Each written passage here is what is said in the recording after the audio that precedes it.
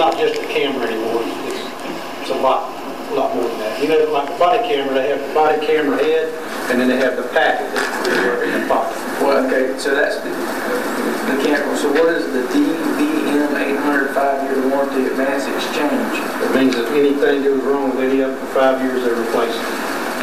And at thirty-two hundred dollars a piece, that's, that's uh, worth it to me. I'm not reading that. What he's wanting to know is what is that DMV 800? It's not, it's not, that's not how it's reading here. There's eight of them at five hundred dollars a piece comes up to a total of thirty-two hundred dollars. That's how this invoice is. Then, then below that is eight. Now, you already got the, the, uh, Body. body cameras. The cameras in the car. This is a car to go in, uh, Camera to go in the car. Yes, ma'am. But you got cameras in the car already, right? No, all we have is body camera. So if you have a pursuit or whatever, you don't have that. Unless it's like this?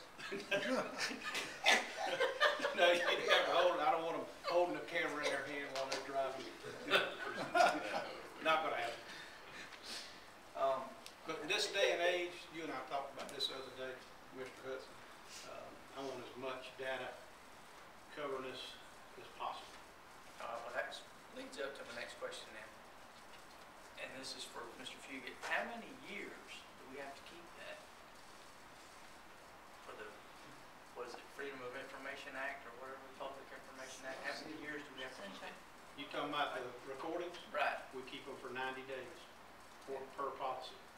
Unless it's a case that the state attorney's office needs, we, we make copies of all the, when they download them, we, we make copies of them. And we put them in evidence. Right. If the case goes to court, of course, you keep that DVD. And then when they're done with it, if they no longer need that evidence, the state attorney's office sends our evidence section a disposal. Says you can dispose of the evidence from this case, done, it's, it's done away with. Then you can dispose of it. So then nobody will come back and say, hey, My answer is, I don't know what the record retention schedule says about that, so, so I don't, I don't know. I, I, I think the chief is giving you what his policy is relating to that, I don't know how that meshes with the state's record retention policy on that.